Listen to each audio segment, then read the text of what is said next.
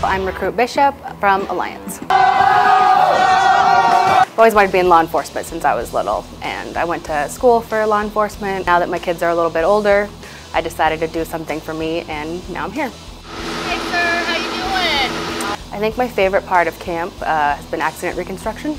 The instructors were fun, the curriculum was cool. We got to see like autopsy photos and actual crime scene photos. Kind of like helps put all the pieces together. It paints the big picture. So you get little nooks and crannies along the way and then you finally get to see what it's all like put together. Hurry up, let's go, let's go! I'm looking forward to just going back home and putting everything into play. Um, like I said, the nooks and crannies, like that we have to just little bits here, little bits there. It's going to be nice to be able to put everything together and finally put it into play in real life.